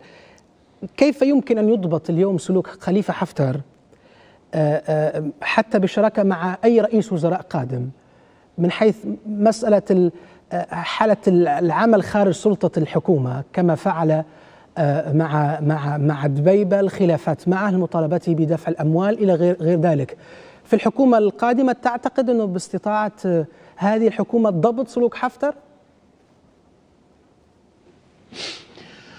هو الفرصة موجودة متوفرة الفرصة الآن بعد هذا يعني التوافق الكبير بين الأطراف العسكرية والسياسية شرقا وغربا. فأصبح يعني آه، الفرصة موجودة وأنا لا أريد أن أتنبأ بالغيب أقول لك أنك أن تنجح الحكومة أو لا تنجح سوف نرى. لكن آه، الفرصة موجودة وهي فرصة أكبر من فرصة حكومة الأربعين كيلومتر مربع التي يقودها دبيبة. لكن يعني حكومة إذا كان هي بالفعل ستكون حكومة لكل ليبيا فهذا الحقيقة بتكون فرصتها أكبر. هذا شيء مفروغ منه. على كل حال هو حتى في, في الحكومة في الحكومة. سجناء النظام السابق. قبل أن تعود إلى سجناء النظام السابق سيد سنوسي في مسألة الحكومة ما يتداول وحتى ما طرحه السيد أشرف في بداية حديث حول آه، أسامة حماد ما قاله هو آه، آه، السيد أشرف على أنه قد يكون وزير المالية وأيضا هناك أسماء تتداول على أنه حفتر آه، آه، ربما رشح اسما لحقيبة آه، الدفاع. هل يؤمن جانب حفتر اليوم؟ هل يؤمن المجرب بأن يمنح له وزارات سيادية بحجم وزارة الدفاع والمالية وغيرها من الوزارات ربما؟ والله تو يا نبيل مسألة الحكومة وتشكيلتها والتوزيع الجغرافي للوزارات والوكالات كما هو معمول به من عشر سنوات إلى الآن فهذه مسألة يعني الحقيقة ما أنا نفسي ما عندي عليها أي خلفية ولا أي معلومة. كل ما يتسرب من توزيع الوزارات وكذا نحاول نتأكد ونضبط المصدر نلقاه مصدر مش مش موثوق يعني. وبالنسبة للسيد بشاغة أحاط هذه المسألة ب آه، يبدو بسرية تامة فلم يرشح شيء إلى حد الآن من حيث التشكيلة وتوزيعها وإلى آخره. بل حتى لربما التشكيلة النهائية إلى الآن لم لم لم, لم يتم يعني تحديدها. بال بال يعني تعتقد إنه محدد بالضبط آه يعني. تعتقد إنه لن يقبل فهذه فهذه خلينا نشوفه يوم الاثنين يعني. إيه، إيه، جلسه مجلس النواب يوم الاثنين هي اللي بتعرض فيها التشكيلة. وربما تعلن قبلها تو نشوفه يعني. لكن هي الفكرة اللي قلتها لك تو باش نقطة نبي نوضحها مهمة جدا. فضل. حتى للرأي العام كويسة يعني. سجناء النظام السابق السيد ترجمان والسيد أشرف والسيد عبد السلام هم يعتقدوا أن المسألة آه، إنك توقف آه، قيادي من النظام السابق إن المسألة مرتبطة بالجرائم اللي ارتكبها. لا. إذا كنت أنت قائد نظام سابق ومن الجنوب حتكون في السجن. إذا كنت من الشرق أو من الغرب حتكون خارج السجن. أنا نعطي لك قاعدة. وبرا عدي كانك لقيت لي واحد من جماعة النظام السابق. مجرم شانق قاتل مش عارف إيش. من الشرق ولا من الغرب كانك لقيته في الحبس تعال حاسبني. ما تلقاش إلا من الجنوب فقط. تمام. هذا طبعا شو معناه الكلام هذا؟ مم. معناها ما في يعني هو هو القضاء أساسا. ما يشتغل القضاء وما يقدرش يعمل في جو زي هذا اللي إحنا فيه الآن. لا يستطيع أن يعمل. وبالتالي كانت أفضل فكرة إن هالمسائل هذه تؤجل إلى حين يكون في دستور يكون في مصالحة وطنية يكون في إلى آخره ثم يتم آه، عقد محاكمات عادلة في جو يتوفر تتوفر فيه العدالة للجميع واصحاب الحقوق ينالوا حقوقهم. لكن هذا للأسف ما مش موجود. المسألة في ليبيا كيدية فقط. إذا كنت أنت من الجنوب ما في حد بيستكسر حياتك وبيحطوك في الحبس. إذا كنت من الشرق ولا من الغرب بتلقى من يقف معاك. يا قبيلتك يا مدينتك يا إلى آخره. وتطلع من السجن. وشوف أنت وأنا نتحداك قلت لك هو قدامك أنت آه، السجناء تعرفون كلكم أنتم اللي موقوفين لحد الآن. اللي يجمع بينهم منهم الجنوب فقط. واللي طلعوا برا اللي يجمع بينهم منهم من الشرق والغرب. وما تلقاش من الجنوب إلا يعني كان غير واحد غلطوا فيه غلط تلقوه. هذه هي رأي هذه اللي نحب الملاحظة اللي نقولها بس. للسيد ترجمان وللسيد آه، عبد السلام وللسيد أشرف. ان ما فيش يعني ما فيش الآن عدالة نقدروا نستندوا إليها أو نطمئنوا لها أو حتى تقدر تواجه بها الناس. لأنك أنت ترى في النهاية أي إنسان حتى لو كان مجرم يا سيدي من النظام السابق ولا اللي هو في النهاية عنده أهله وعنده قبيلة وعنده عشيرته وعنده ناسه وهذول أنت تبيهم يشاركوا في ال في ال يشاركوا معاك في في في هذا الوفاق وهذه المصالحة. بالله كيف تبيه الكلام هذا إذا كان ما فيش عدالة وما فيش يعني لا لا فيه أمل بإطلاق سراحهم ولا تنفيذ الأحكام اللي مثلا لفراجات وإلى آخره ولا فيه مثلا ما خلينا نقول واضح تماما. فصل في في في في في قضاياهم بالتحديد. ما فيش الكلام هذا. واضح تماما سيد السنسي أه، سيد عبد السلام الراشحي في مسألة الحكومة. أه، مسألة قبول حفتر بهذه التشكيلة الوزارية. تعتقد أنه يمكن أن يقبل الرجل بهذه الحكومة إن لم يضمن حقيبة الدفاع حقيبة المالية وربما حتى معها وزارة أخرى وزارة التخطيط وغير ذلك. هذا متوقع؟ بس برد على السنوسي بنقول للسنوسي بنسميه كسمين على السريع. منصور ضو من هراوة من الغرب الليبي واحمد إبراهيم من سرت من الغرب الليبي. هذا الزوز اللي تو في السجن. ما بتقولش غرب وجنوب وشرق ومش عارف شنو. معظم المجرمين لا لا انت غلط منصور ضو منصور ضو من سبها من هراوة هراوة يا أخوي من هراوة. وسعد بن شرادة تكلم عليه وقال علي دايرتي. مسعود بن شرادة والله إذا قال من هراوة. يتكلم فيك علي عبد الله ما نعرفش أنا نعرف إنه من هراوة. حتى اللي يتكلموا عليه شيء من هراوة ما يتكلموش عليه في شباب نكمل دوتي بس. على كل على كل بالنسبة للسيدة هو ليس محل خلاف الآن هو هذا ليس محل خلاف. حتى نتجاوزها. هذا صعب يا لنحصل هي حديث يا سيد السنوسي احمد بن رمضان احمد بن رمضان حسن خلاص صحي بعد 10 سنوات يا سيدي عبد السلام يا سيدي عبد السلام لا لا خلينا نضيفها لك هذه. ضروري نضيف هذه السرت والهراوه هذه مرتبطات بالجنوب. رو الناس في الجنوب يقعن هن أصلا. يا راجل اقليميا طرابلس مثل الغرب الليبي. سرت. يا سيد عبد السلام ويا سيد السنوسي هذا ليس محور نقاشنا هو ليس محور نقاشنا رجاء. نرجع الموضوع فقط في اطار سياق لا لا حق الرد. لأنه لأنه لو بقينا في هذه النقطة وهذا يتبع تلك المنطقة على السريع ردود سريعه في ثواني بالنسبة للسيد خالد ترجمان. أستاذ خالد ترجمان أنت الآن خطابك نسخ لصق من خطاب الطيب الصافي ومصطفى الزايدي اللي قلت له رفقائك. أنت وياهم في معسكر واحد في مشروع واحد. الدافع عليه مجرم روح واحد روح اسمه روح خليفة بن قاسم حفتر وجرائمه. أنتم دعمتوا العدوان على طرابلس أنتم تعبتوا جلب المرتزقة الروس والجنجويد. والمرتزقة اللي اللي جبتوهم عندما كنا نقاتل في بنغازي في معامله اخذ دماء شهداء من تتكلم عنهم؟ من تتكلم عنهم؟ عندما كنا نقاتل الجرافات التي سيدنا سيد الجمال سيد الجمال سيد عبد السلام مثال بسيط دقيقة سيد عبد السلام دقيقة حتى نضبط الحوار مثال بسيط سيد عبد السلام لو سمحت. اسمح لي فقط دقيقه حتى نقطع. يا أستاذ خالد ترجمان نعطيك سيد خالد لو سمحت سيد عبد السلام دقيقه سيد خالد ترجمان. نقطة نظام لك أخرى أيضا. لا تقاطع ضيف رجاء إلى حين أن يحين دورك وتجيب وترد على ما يقوله السيد عبد السلام إن كنت تعتقد أنه صحيح أو غير صحيح. هذا حقك وهذا حقك ولك الوقت الكافي لكن لا تقاطع ضيوفي رجاء. آه نقطة حتى نستطيع سماع كل ضيف ونتيح له الوقت الكافي. تفضل سيدي نعطيه مثال بسيط. زميلته في النضال في في في في ثورة 17 فبراير الأستاذة انتصار العقيلي مهجرة وبيتها منقزين فيه ناس. من ميليشيات حفتر ساكنين فيه في إطار بيت المساكين اللي كان خالد الترجمان معارض ليه. كويس. ممنوعه من دخول بنغازي ممنوع من استرداد بيتها حتى التصرف فيه حتى بيعها. مش حتى ترجع لها لا حتى بيعها ما تقدرش. كويس. ومنقسين يجي جماعة ميليشيات حفتر. وفي نفس الوقت مسموح لمصطفى الزايدي والطيب الصافي أن يعقدوا مؤتمرات لدعم المشير أركان خليفة هزايم خليفة حفتر. بالنسبة لواحد بالنسبة لسؤالك. شوف يا أستاذ نبيل واعتقد الليبيين ما, ما بيش نقول الليبيين لكن طيف كبير من الليبيين مقتنعين بي وحتى الأستاذ خالد يتفق معي في هذا الموضوع. إن الورمين اللي أصاب الشعب الليبي والدولة الليبية هو مجلس النواب ومجلس الدولة. ما تجيب لهمش غدوة مهاتير محمد صاحب نهضة ماليزيا رئيس وزراء في ظل جسم الورم مجلس النواب والورم الخبيث مجلس النواب والورم الخبيث الآخر مجلس الدولة أي حكومة فاشلة. أنا نعطيك مثال بسيط وهذا مش كلامي كلام وأنا لا أتفق معاه في سياسيا. السيد علي التكبالي عضو مجلس النواب قال تزكية مجلس النواب باش يزكي واحد رئيس حكومة يتقاضى في 600 ألف دينار. وقال إن كل وزير حتى يحصل تزكية نائب يعطيه نص مليون دينار. فعندنا الإشكال ولن ويضطر قلت حتى مهاتير محمد جيبة بشكل حكومة ليضطر أن يتماهى مع هؤلاء النواب باش يجيب وزراء باش يحصل يمنحوه الثقة. كيف ما تماهى السيد عبد الحميد الدبيبة كيف ما تماهى السيد عبد الله التني في حكومته؟ عندنا ورم خبيث اسمه مجلس النواب وورم خبيث مجلس الدولة. الحل إن ننهو ننهو هذا الجسم. يعني يستطيع يعني يستطيع.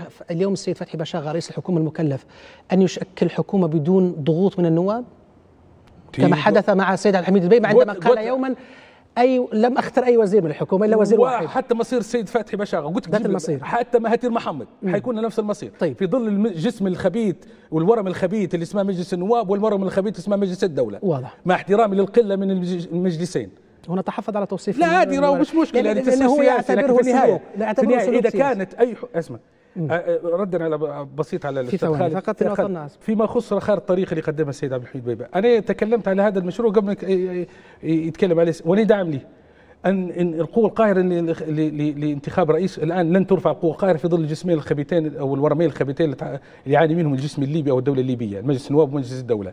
الأفضل أن نذهب إلى الانتخابات، الآن في قانون انتخابات صدر المؤتمر الوطني العام في في مارس 2014 تحت قانون رقم 10 خدام مجلس النواب وعد لو سم عدل في مادة واحدة اسمها المادة 20 آه، هي شروط مدد فقط آه، نفس القانون.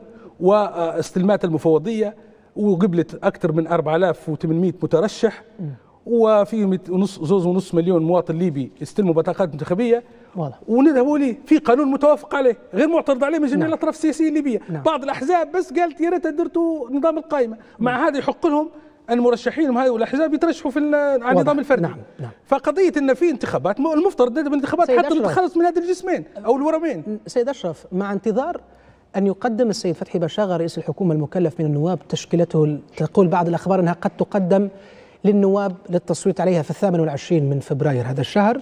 وأيضا مع جلسة مرتقبة للأعلى للدولة غدا الأربعاء متوقع كما قيل آه للنظر آه فيما يتعلق بالتعديل الدستوري وأيضا مسار الحكومة الحالية. إن كان هناك صوت مرتفع في الأعلى للدولة يرفض كل ما جرى. تعتقد أن سيكون له تأثير كبير على كل هذه التوافقات التي حصلت؟ شوف آه، آه، غدا اجتماع المجلس الأعلى للدولة هو الاختبار الختامي والاختبار النهائي آه، لمن فيه من وطنيين وصادقين يريدون إنهاء هذه المرحلة ويريدون ولا يريدون تمرير هذه الصفقة المشبوهة التي يراد من خلالها تمديد لهذه الأجسام وإيصال مجرمين لسدة الحكم في ليبيا خلال المدة القادمة. بالتالي غدا آه، حتى بعد تلاعب آه، رئيس المجلس خالد المشري بمكان الجلسة والآن أخر معلومة أنها ستعقد في جمعية الدعوة الإسلامية. لا نعلم ما هي خفايا الأمور وراء هذا المكان بالذات وما وما هو الغاية منه ولكن ستعقد الجلسة ونتمنى أن يتخذ الكل موقفا طبقا للمبادئ التي أعلن عنها في البيانات التي صدرت. وغدا آه، سوف تظهر هذه المواقف وسوف نرى. أما فيما يتعلق الحقيقة بقصة أن أن آه، فلان لا تزايد عليه لأنه آه، كافح وحارب في بركان الغضب وفي البنيان المرصوص ولديه شهداء. كل من قدم تضحية في سبيل عدم تمكين عسكري فاشل ومجرم للسيطرة على الدولة الليبية وعلى المخدرات الليبية هو أمر مقدر ولكنه ليس سكا على بياض وليس تخويلا من الليبيين بأن يفعل ما يشاء حين يشاء حينما يحاول أن يحقق أحلام اليقظة التي آه، آه، التي تسيطر عليه. بالتالي أنت أنت كنت في موقف معين كنت شهم وكنت رجل مواقف هذا لا يعطيك سكا على بياض أن تقرر بدل الليبيين المسار الذي تتخذه أو أن تسمح أو تسامح من أجرم في حقهم وتسمح له بالتمكن من حكم ليبيا. هذا من حيث المبدأ. بالتالي بالتالي. اليوم القول بأن والله الكل متوافقين وهذه الحكومة أنا أتحدى أن تستطيع. حتى لو هو فتحي بشاغه حيكمل المشوار هو وعقيلة وحيحاولوا إخراج حكومة. مع أن القائمة التي سوف يطرحها قنبلة. ستنفجر على وجهه. ولكن سوف يظهر هذه سوف يعطوا الثقة حتى ب 60 صوت أو 50 صوت من المبتزين الموجودين هناك. هذه الحكومة لن تستطيع استلام الحكم في ليبيا. ولن يضيع من ضحى من أجل هذه الدولة حقوق الناس وتضحياتهم من أجل إيصال مجرم على ظهر آه، شخص غير واعي لما يقوم به وتسيطر عليه أطماع وهواجس أن يصل إلى الحكم بأي ثمن وبأي طريقة. امم واضح تماما. سيد خالد ترجمان تسمعني الآن؟ نعم أسمعك. أه، أه، خطورة أن يتكرر سيناريو أن يضغط النواب مرة أخرى باتجاه فرض وزراء بعينهم يعبر عنهم.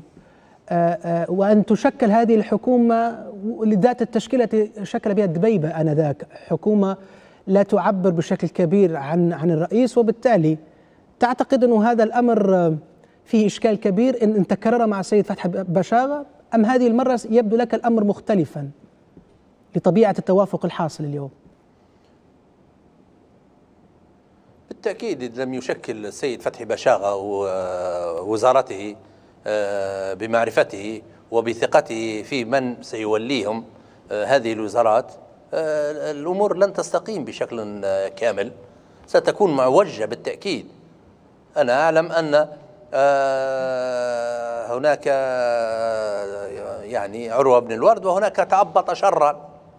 الجميع يعرف من هو تعبط شرا. فهؤلاء النواب تعبطوا شرا جميعهم. كلهم تعبطوا ملفات أقاربهم وأصدقائهم وأبنائهم ليقدموهم آه، كأعضاء في هذه الحكومة. هذا قول فصل.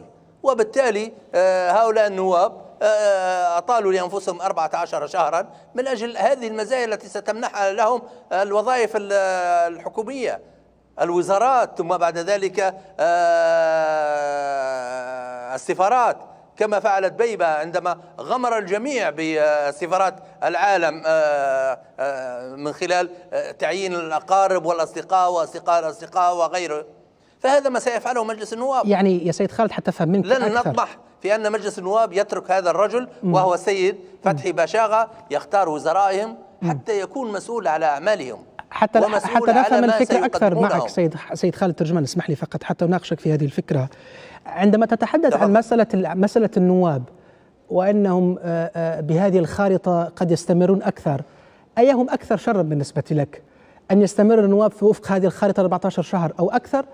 أو أن تستمر حكومة دبيبة إلى حين أن تجري الانتخابات النيابية والبرلمانية كما طرح آه، في مشروعه أو كما ينادي ضيفي هنا في الاستوديو السيد عبد السلام الراجحي بأنه ندخل في عملية انتخابات برلمانية إلى أن تأتي حكومة أخرى ونذهب في انتخابات رئاسية إلى غير ذلك. هذا هو رأيك دائما. فما هو وجهته بالنسبة لك؟ طالما أنت ممتعض لهذه الدرجة من النواب. بدون لا لا لا أقول النواب بشكل عام. هناك نواب وطنيون شرفاء لا غبار عليهم. كم؟ لا يجب تقدرهم بكم من من العدد الإجمالي؟ نجعل نجعل من الجميع آه، سواسية. ولكن الأغلبية والمؤثرين والمجاميع في مجلس النواب كل لديه رغبات في أن يتحصل على حصصه من خلال الثلاثة عشر دائرة والتقسيم نعم. الذي تم خلال هذه الدوائر هذا من ناحية أما من الناحية الأخرى نعم.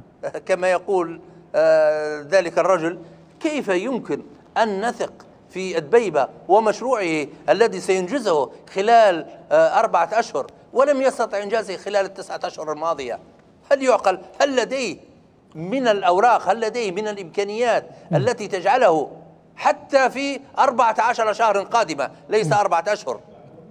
واضح تماما سيد خالد. على أرض الواقع. واضح أن تماما. ينجز حتى آآ آآ إقامة إقامة المفوضية بشكل صحيح تستطيع أن تمارس عملها في طرابلس. هو لا يستطيع على الإطلاق. هذا عبارة عن تجديف آه، آه، أنا أعتقد أن الغرض منا ربما الدخول في واضح تماما. حتى لا يتم ملاحقته هو إن صدقت الأقاويل سيد السيوسي. تدبير أموال الليبيين انتهى الوقت سيد خالد ترجمان لو سمحت لو تكرمت. انتهى الوقت أعتذر منك. سيد السنوسي إن صدقت الأقاويل بأن قد يمنح أو آه، قد تكون هناك حقيبتان أو ثلاث حقائب لحفتر منها الدفاع والمالية وغيرها. ما الذي يمنع حفتر في هذه الحالة؟ أن يسخر كل هذه الإمكانيات بما لديه من دفاع وأيضا وزارة مالية في عملية توسيع نفوذه العسكري في كل ليبيا. هل نحن أمام مقامرة جديدة كما يحلو للبعض توصيفها؟ إن نجحت فبها وإن فشلت يتحمل وزرها الليبيين. في أقل من دقيقة لو تكرر طبعا هذا افتراض آه، هو افتراض جدلي هذا. طبعا مستحيل طرف واحد يعطوه وزارتين زي هذين المالية والدفاع مع بعض. لكن على كل حال لماذا؟ ما الذي يمنع؟ المسألة اللي أشار لها السيد أشرف الشح آه نشوف أنها بعيدة الاحتمال يعني. هذا وجه نظري على الأقل من خلال تشكيلات سابقة يعني. لكن هو شوف مسألة أن أطراف صراع سواء كانوا يدافعوا عن طرابلس أو كانوا آه معتدين على طرابلس هذوم يا سيد أشرف هم اللي قرروا هم هم هم الذين قرروا أن يكون هناك سلام بينهم. والشعب الليبي سعيد بذلك. أنت الوحيد يا أشرف وأمثالك من تيار التأزيم اللي مستائين من هذا السلام الذي حصل بين الأطراف اللي كانت بالأمس في الخنادق تتقاتل والآن أصبحنا نراها تمد يدها إلى بعضهم. و, و, و ويحموا مع بعضهم مصادر المياه ومصادر النفط ويعقدوا مع بعضهم يعني زي ما نقولوا آه، تسويات أو دعم تسويات سياسية بين مجلس النواب والدولة. وهذا أمر محمود والناس دعمته إلا أنت يا أشرف الشح أو من شابهك السيد عبسي حتى هو نفس الشيء عبد السلام. يعني لا لا أنا مستغرب فيكم وراو الشعب الليبي نقول لك الشعب الليبي غير مستاء من هذا بالعكس فرحان جدا بهذا السلام وهذا التوافق. والناس ملت من الحرب وملت من خطاب الكراهية وخطاب التأزيم واضح اللي تماما. فيه. م. ودائما. وفي آخر الحلقة أترحم على الطفلين اليوم وعلى كل من من قتل ظلما في هذه البلاد. واضح تماما سيد. أن الحق واضح تماما سيد آه سيد سنوس إسماعيل أعتذر منك أطلنا كثيرا. آه سيد عبد السلام الراجحي في أقل من دقيقة لو تكرمت. والله شوف إحنا عندنا تجربة عريقة مع خليفة حفتر وفي انقلاباتها انقلب على الملك إدريس رحمة الله عليه بعدين انقلب على مع معمر القذافي بعدين انقلب على معمر القذافي بعدين مشى للمعارضه بعدين انقلب على المعارضه من جديد. بعدين ولا المعمر من جديد القذافي بعدين انقلب عليه في 17 فبراير. بعدين انقلب عليه ثوره 17 فبراير في فبراير 2014 في تجميد الإعلان الدستوري.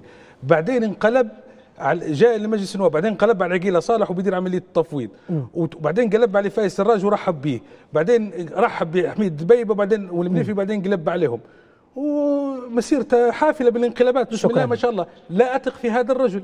ألا تعتقد أن هذا الأمر قد يبدو استثنائيا هذه المرة؟ لا هذا هذا رجل ملك الانقلابات. ما عنديش فيه ثقة. اسمع التغيير يحدث في الشباب ما يحدث في واحد عمره 80 عام ربما. هناك هناك توافق لا لا مختلف لا لا هذه المرة. لن يتغير خليفة حفتر رجل مجرم قاتل يعني في حالة الضعف الآن يتمسكن وأول ما يتمكن حيقلب علينا كيف ما قلب على الملك إدريس رحمة الله عليه وكيف ما قلب على ثورة فبراير وكيف ما قلب على عقيله صالح وكيف ما قلب على الكل. نقطة أخيرة بنفكر أخوي في عجالة في ثانية. أخوي أخوي سنوسي. أنت قلت الشعب الليبي آه، أنا أتمناك الوصف الجاي لما تطلع في القناة قول سنوسي إسماعيل المتحدث باسم الشعب الليبي. مش عارف الشعب الليبي من أعطاك هذه الصفة لكن بعطيك اسم ثاني بس تفكرت توا. محمد بن نايل من الجنوب قبض عليه وتم إطلاق سراحه بعدين شكرا. قاتل من جديد بعدين مات وفاته المنية. شكرا جزيلا لك السيد عبد السلام الراشحي المحلل السياسي. كما أشكر ضيفي أيضا قصدك من اللي من الجنوب بيكون ضروري ختمنا يا سيد السنوسي ختمنا من النظام السابق راهو كان. يا سيد عبد السلام. في تونس وكان بيدير في احداث قفص انتهى الوقت يا النظام السابق. يا جماعة انتهى الوقت. ضد الشرق ولا الجنوب يا يا, سي يا سيد السنوسي ربما في حلقة قادمه في حلقة قادمة تضيف له هذه الكلمة. انتهى الوقت اعتذر أعذرني. شكرا جزيلا لك المحلل السياسي السيد السنوسي إسماعيل. كما أشكر ضيفي أيضا من بنغازي آه، رئيس مجموعة العمل الوطني خالد ترجمان. كان معنا عبر الاقمار الصناعية من هناك. شكرا جزيلا لك. كما أشكر ضيفي أيضا المستشار السياسي الأسبق للمجلس الأعلى للدولة السيد أشرف الشح ودائما نقولها حق الرد يظل مكفول آه، لكل من ذكر اسمه طرف سياسي بعينه آه، جهات أو شخصيات بعينها ذكرت في هذه الحلقة أو غيرها يظل حق الرد مكفول لها عبر شاشة ليبيا الأحرار لها المساحة الكافية حتى تعبر عن مشروعها السياسي وعن آرائها وتصورها للمرحلة القادمة. شكر لكم مشاهدينا على طيب وكرم المتابعة دمتم بالخير إلى اللقاء.